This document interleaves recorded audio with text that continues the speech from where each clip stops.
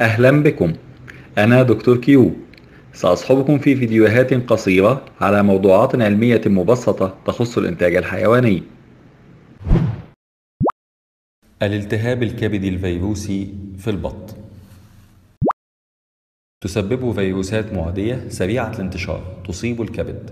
تسببه فيروسات من عائلة البيكورنا أو الانتيرو فيروس صغار البط أكثر عرضة للإصابة بهذا المرض. من البط البالغ.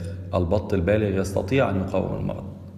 تنتقل العدوى عن طريق الغذاء أو المياه الملوثة بالفيروس.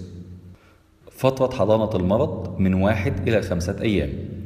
ونسبة النفوق قد تصل إلى نسبة 90% هذا الفيروس يوجد له أكثر من عتبة. لا يوجد بينهم حماية متبادلة أو cross reactivity أي أن التحصين ضد أحد الأنواع لا يقي ضد العترات الأخرى.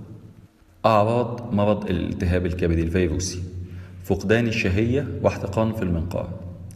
تقوس الأطراف يقع البط المصاب على جانبه ويلقي رأسه للخلف ويجدف بأرجله في الهواء بصورة تشنجية عصبية. يموت البط المصاب خلال نصف ساعة من بداية ظهور الأعراض. لذلك يجب سرعة اكتشاف المرض وعلاجه. الصفة التشريحية تضخم في الكبد ووجود بقع نزفية على سطحه وتغير لونه إلى اللون الأحمر أو البرتقالي مع تضخم واحتقان في الكلى.